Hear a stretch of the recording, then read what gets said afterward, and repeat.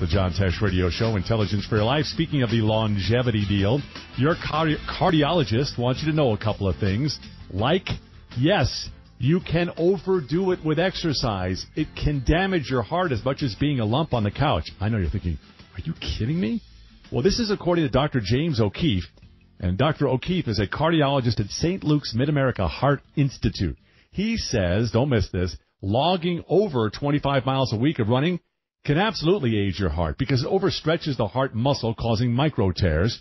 Marathon runners get this, and it's so damaging it can undo all the benefits of exercise. Don't miss this. Dr. O'Keefe says limit running to four days a week and four miles per run. Limit it to that.